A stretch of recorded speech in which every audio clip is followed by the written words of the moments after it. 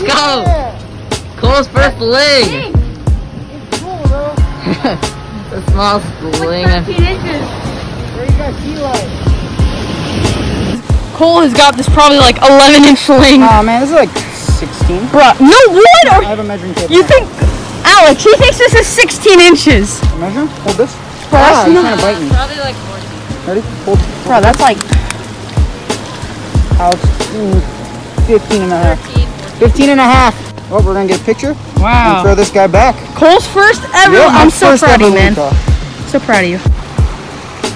Okay, guys, we got this nice little brown lingcod. Throw him back. Let me get a good video of this. Ooh, ooh. Look at those teeth. Yeah, crazy teeth. These Nom guys, nom nom. major predators in the ecosystem of California. Check it back. Let's go! Grind for these things too. I've been fishing here like 10 times a month. No fish ever. But I finally got one. This is so cool, man. You got a friend over here.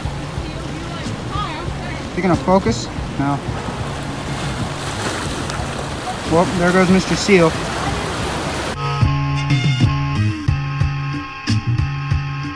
Okay guys, we're fishing off this cliff and we got this beautiful perch. Look at the colors on this thing.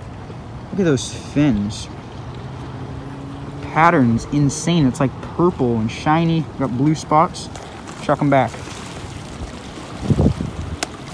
Ooh, that was a hard hit. Rough re-entry. Yeah. Swam off fine though, so he should be good. Got a nice cab, tiny guy. Probably about six ounces or something like that, maybe half a pound. And there he goes. Okay guys, so a few days ago I said I caught a lizardfish, but that turned out to be a one-spot fringe head. So in this next clip, you're going to see me catch an actual lizardfish and attempt to become the next Coyote Peterson. Okay guys, so a few days ago I said I caught a lizardfish and ow, it bit me. Wait, I'm gonna I'm gonna let this guy bite me. Ready? Okay guys, so right here we have a lizardfish. This guy looks pretty angry. And we're about to enter the bite zone with him. So three, here. two. Oh, he's not doing anything. Alright. I wanna get him to bite. Three, two, oh. He doesn't bite. He's nice. Okay, guys. Well, apparently real lizardfish don't bite. They're not aggressive like uh, one-spot fringe heads. So, I'm gonna let this guy go. Here, we'll get a good shot of this. Okay, guys. So, we got this beautiful lizardfish. We're gonna throw him back now. Lizardfish. Okay guys, so in this clip, Miles has a pretty big rockfish for this spot. So it's pretty rare to catch a rockfish over one pound at this spot, so to catch one is pretty special. Look at that. It's like a cat. That is probably. I don't know if it looks as big on camera, but that's like. That's a, look at its mouth. I could probably swallow up to like a six-aught hook, to be honest. Swim bait. Oh, yeah, it could swallow. That's a swim bait eater. You want to weigh it? That's huge. Yeah. Yeah, I'll try it.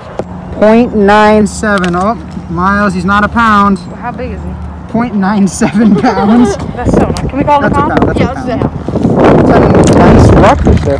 We'll just out round it up to a pound. Okay, well, anything else you want to say? Um, want to throw him back?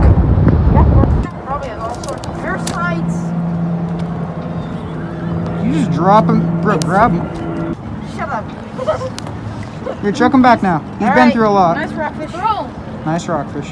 live. I'm just gonna get a video on my phone. Ow, he's biting me. Thank you guys so much for watching. That was kind of a short video, not many clips, but just a few times I went fishing, and I thought you guys might find it cool that I caught my first lingcod in the bay, which is even cooler, and on a swim bait, and that is my third or fourth fish I've ever caught on a swim bait, because I do not fish them that often.